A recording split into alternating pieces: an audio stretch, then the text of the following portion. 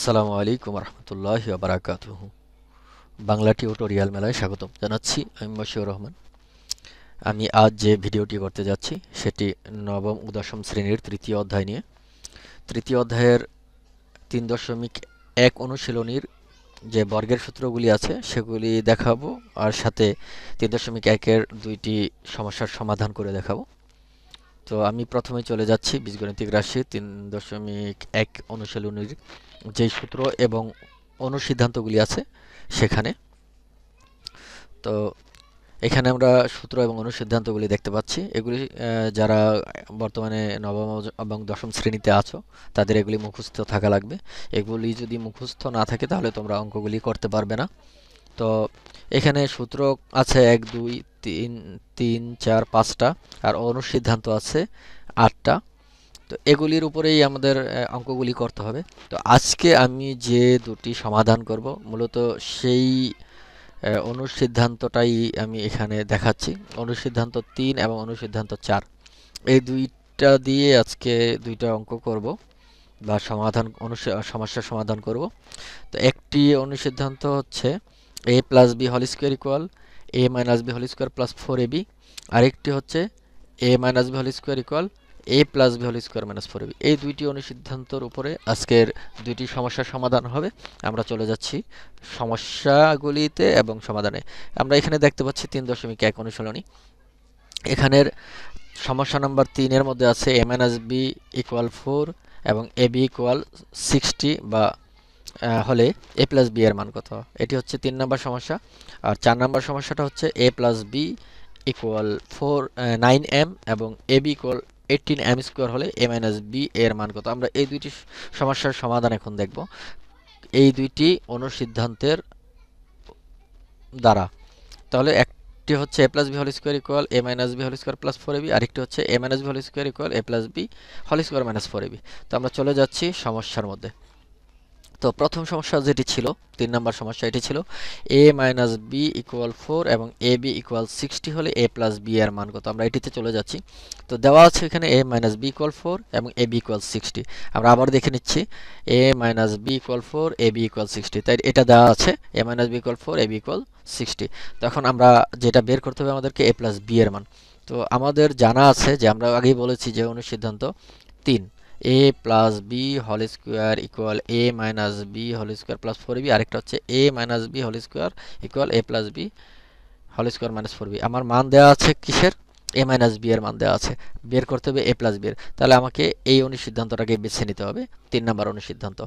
তো আমরা জানি যে A plus B whole square equal A minus B whole square plus four B আমরা তিন নম্বর অনুসিদ্ধান্তটা আরেকবার দেখে নিচ্ছি। A plus B whole square A plus B whole square equal A minus B square plus four A B তো এই অনুসিদ্ধান্ত মানটাও যেহেতু এ বি দ্বারাই আছে, তাহলে আমাদের জন্য এটা খুব সহজে হয়ে যাবে। তো আমার যেহেতু এ প্লাস বি এর মান বের করতে হবে, তাহলে আমার এখানে যে স্কোয়ারটা আছে স্কোয়ারটাকে আমাকে বাদ দিয়ে দিতে হবে। আর স্কোয়ার বাদ দিতে হলে আমাকে স্কোয়ারটাকে এদিক থেকে ওই দিকে সমান সমানের এ পাশ থেকে ওই পাশে ট্রান্সফার করতে হবে। আর সমান সমান এ পাশে সমান সমানের এ পাশে যদি এটা স্কোয়ার থাকে, ওই পাশে গেলে রুট হয়ে যায়। তো আমরা এখান থেকে যেহেতু স্কোয়ারটাকে ট্রান্সফার করব তো এখানে ছিল স্কোয়ার, এটা এপাশে এসে রুট হয়ে গেল, অর্থাৎ পুরাটার উপরে রুট হয়ে গেল। স্কোয়ারটা এখান থেকে এখানে এসে রুট হয়ে গেল পুরাটার উপরে। তো যাই হোক, তাহলে আমাদের এ প্লাস বি বের হয়ে গেছে। এই এটার মান এখন বের হয়ে যাবে যদি আমরা এখানের মানগুলি বসিয়ে দিই। তো এ মাইনাস বি এর মান দেওয়া আছে ফোর আমরা এ মাইনাস বি এর মানটা এখানে ফোর বসিয়ে দিলাম। আবার ফোরের তো মান নেই ফোর তো ফোরই আর এ বি এর মান হচ্ছে সিক্সটি আমরা এ বি এর মান সিক্সটি বসিয়ে দিলাম। তো এখন ফোর স্কোয়ার ফোর স্কোয়ার মানে চারের সাথে চার গুণ। তাহলে চার চারে ষোলো, আমরা এখানে বসিয়ে দিলাম, চার চারে ষোলো প্লাস ফোর ইন্টু সিক্সটি অর্থাৎ চারের সাথে ষাটের গুণ। চার, ছয়, চব্বিশ, অর্থাৎ দুইশো চল্লিশ। তাহলে চার এবং ষাটের গুণ ফল হচ্ছে দুইশো চল্লিশ, এখানে আমরা বসিয়ে দিলাম। তাহলে ফোর স্কোয়ার ষোলো আর চার ষাটে গুণ করলে দুইশো চল্লিশ। এখন দুইশো চল্লিশের সাথে ষোলো যদি যোগ করি দুইশো ছাপ্পান্ন হয়। কারণ চল্লিশে আর ষোলোয় ছাপ্পান্ন, দুইশো ছাপ্পান্ন হয়ে গেল। দুইশো ছাপ্পান্ন রুটের ভিতরে রয়ে গেল, কারণ রুট কিন্তু এখনও শেষ হয়নি। আর আমরা দুইশো ছাপ্পান্নকে যদি বর্গে করতে যাই, তাহলে জানি যে ষোলো এবং ষোলো গুণ করলে দুইশো ছাপ্পান্ন হয়, তাহলে ষোলো স্কোয়ার। ষোলো এবং ষোলো গুণ করলে দুইশো ছাপ্পান্ন হয় এই জন্য এটা ষোলো স্কোয়ার।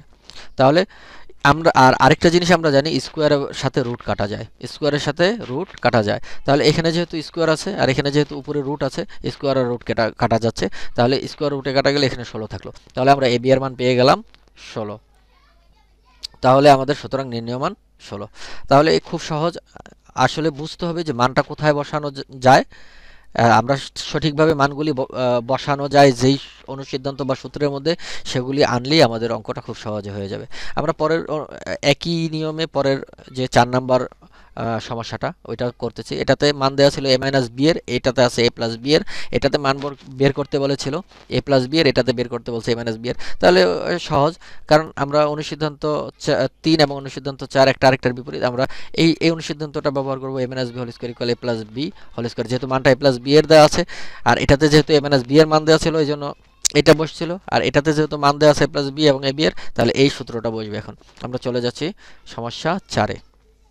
সমস্যা চারে আমরা এ প্লাস বি এর মান নাইন এম এবং এ বি এর মান এইটিন এম স্কোয়ার আমরা আরেকবার দেখে নিচ্ছি।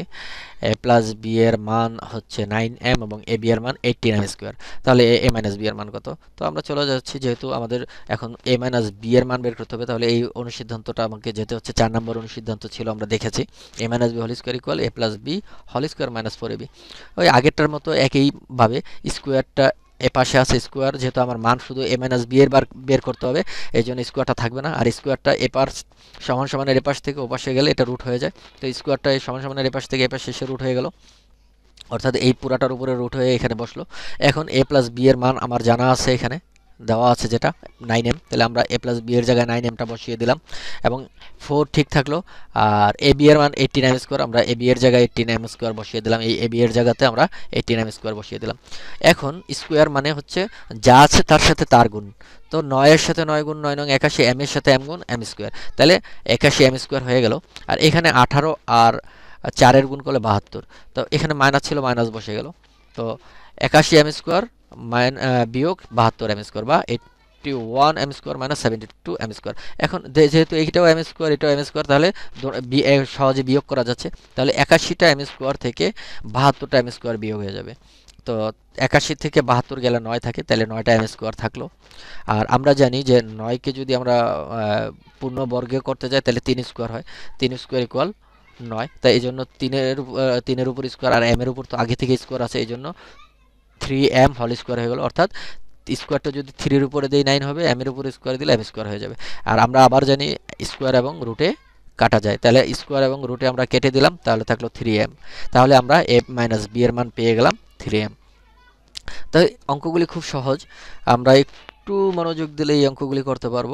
যারা ভিডিওটা দেখছ, আশা করি তোমরা এই নিয়মে যতগুলি অঙ্ক দেয়া হোক না কেন, তোমরা এই যদি এ মাইনাস বি এর মান দেওয়া থাকে তাহলে এবং এ প্লাস বি এর মান বের করতে হবে, তাহলে এই অনুসিদ্ধান্তটা ব্যবহার করতে হবে। আর যদি a minus a plus b এর মান দেওয়া থাকে এবং এ বি এর মান দেওয়া থাকে, তাহলে অনুসিদ্ধান্ত ব্যবহার করতে হবে, এ মাইনাস বি হোল স্কোয়ারের অনুসিদ্ধান্ত। তো আশা করি তোমরা এই নিয়মে দুটি অঙ্ক দেখে পরবর্তীতে এই নিয়মের আরও অঙ্ক করবে। পরবর্তীতে আমি আরও ভিডিও প্রকাশ করব। এই তিন দশমিক একের আরও সমস্যার সমাধান দেখাবো এবং ধারাবাহিক আমি দেওয়ার চেষ্টা করব বিভিন্ন অধ্যায় থেকে। তোমরা এই আমার ভিডিওটা সরি, আমার চ্যানেলটাকে সাবস্ক্রাইব করে আমার সঙ্গে থাকবে এবং তোমাদের সমস্যাগুলি আমাকে জানাবে। আমি হয়তো বা একটু সময় লাগলেও আমি পরবর্তীতে করে তোমাদেরকে দেব এবং তোমরা এখান থেকে উপকৃত হবে আশা রাখি। তো আমার সাথে যদি তোমরা যোগাযোগ করতে চাও, আমার ইমো নাম্বার হচ্ছে এটা হোয়াটসঅ্যাপ নাম্বার হচ্ছে এটা দেওয়া দিয়ে দিলাম আমি। তোমরা ইমো এবং হোয়াটসঅ্যাপে আমাকে বিভিন্ন গণিতের সমস্যাগুলি দিলে আমি পরবর্তীতে ভিডিও করে আপলোড দিয়ে দিব, যেটা তোমরা উপকৃত হবে, আশা করি। তো পরবর্তীতে ভিডিও দেখার জন্য আমন্ত্রণ জানিয়ে আমি আমার আজকের ভিডিও টিউটোরিয়ালটি এখানে শেষ করছি। আসসালামু আলাইকুম রহমতুল্লাহ বারকাতুহ।